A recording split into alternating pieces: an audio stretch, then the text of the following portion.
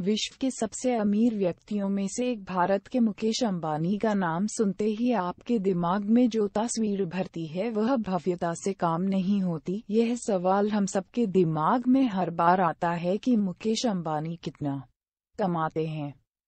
इसीलिए आज हम आपके सामने इसका एक विस्तृत ब्यौरा लाए हैं। यह ब्यौरा आंकड़ों पर आधारित है। आपको बता दें कि भारत के सबसे अमीर व्यक्ति मुकेश अंबानी एक दिन में करीब ग्यारह हज़ार करोड़ रुपए कमाते हैं। अगर बात दो शून्य एक तीन, दो शून्य एक चार वित्त वर्ष की की जाए। मुकेश अंबानी की रिलायंस इंडस्ट्रीज़ लिमिटेड में करीबन चार लाख करोड़ का टर्नओवर किया था। मुकेश अंबानी की संपत्ति में सबसे पहले जिस चीज़ का नाम लिया जाता है, वह है उनका घर।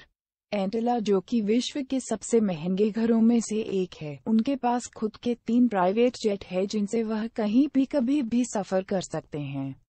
इसके अलावा अगर बात सुख सुविधा की की जाए तो ऐसा कुछ भी नहीं है जो उनके पास ना हो। उनकी कुल संपत्ति करीबन एक लाख साठ हज़ार करोड़ रुपए अनुमानित की गई है। नीचे दिए गए लाल बटन पर क्लिक करके चैनल को सब्सक्राइब ज़रूर करें ताकि हर आने वाली वीडियो आप भरपूर देख सके।